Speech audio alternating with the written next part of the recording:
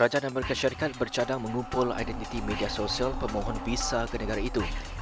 Maklumat itu akan ditapis dan mengenal pasti identiti individu yang berhasrat memasuki negara itu membabitkan kira-kira 14.7 juta orang setiap tahun.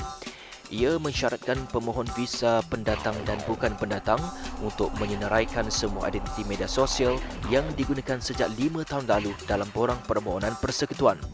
Cadangan itu bagaimanapun perlu diluluskan oleh Pejabat Pengurusan dan Bajet OMB. Jika diluluskan, langkah itu mensyaratkan pemohon mendaraikan nombor telefon, alamat email dan sejarah perjalanan antarabangsa sejak lima tahun lalu.